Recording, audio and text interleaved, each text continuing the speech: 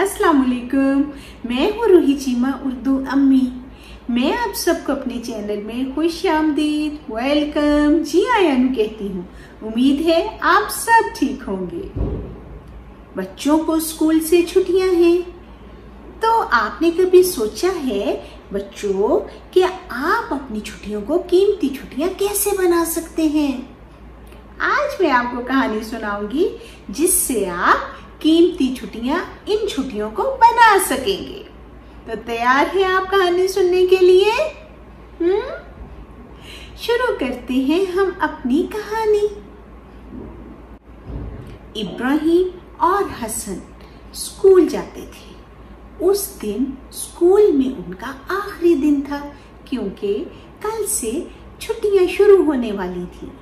तो उनकी टीचर ने इब्राहिम और हसन के साथ दूसरे बच्चों से कहा कि वो इन छुट्टियों में कोई ऐसा खास काम करें जो इससे पहले उन्होंने कभी ना किया हो। और उस काम करने की वजह से अपनी छुट्टियों को आप लोग एक कीमती छुट्टियाँ बना डालें। बच्चों ने टीचर से वादा कर लिया कि वो अपनी इन छुट्टियों को कीमती छुट्टियाँ बनाएँगे।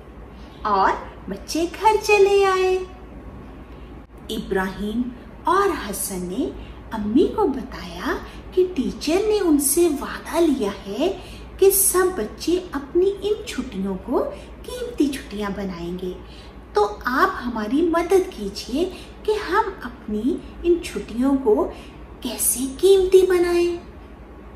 अम्मी ने बच्चों की बात को गौर से सुना और उनसे कहा कि अच्छा मैं आपकी मदद करूँगी और आपको बताऊँगी।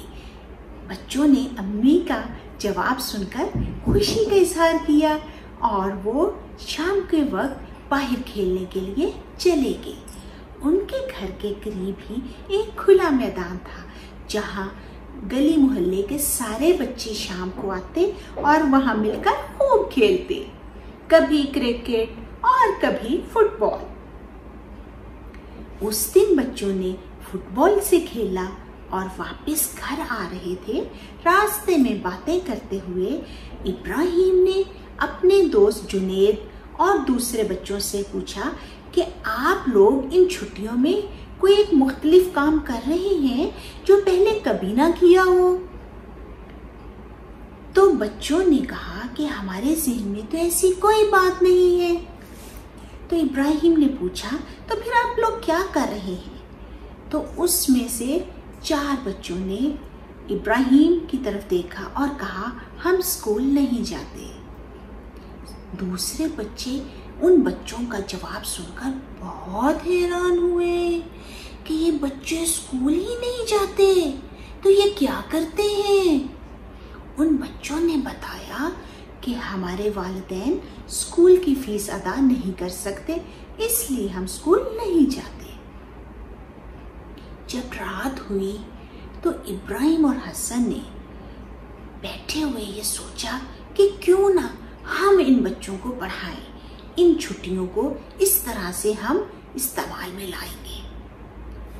उन्होंने अपनी अम्मी से इस बात का ज़िक्र किया और कहा, अम्मी, हम बच्चों को पढ़ाना चाहते हैं।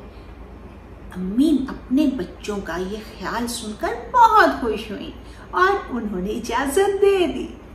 अगले रोज अम्मी बाज़ार गई और एक व्हाइट बोर्ड मार्कर कुछ किताबें और कॉपियाँ लेकर घर में आई।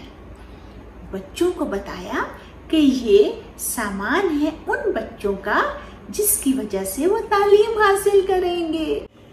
तो जनाब आप मुझे बताइए कि आप अपनी इन छुट्टियों को कैसे इस्तेमाल में लाएँगे? हम्म? क्या ऐसा काम करेंगे कि आप अपनी इन छुट्टियों को कीमती छुट्टियाँ बना सकें? अगर आपको ये वीडियो अच्छी लगी हो तो इसे लाइक करना मत भूलिएगा। मेरा चैनल अगर अभी तक आपने सब्सक्राइब नहीं किया तो इसे कर दीजिए। हमारी मुलाकात इंशाल्लाह अगली वीडियो के साथ होगी। अपना बहुत ख्याल रखिएगा। अल्लाह हाफिज़।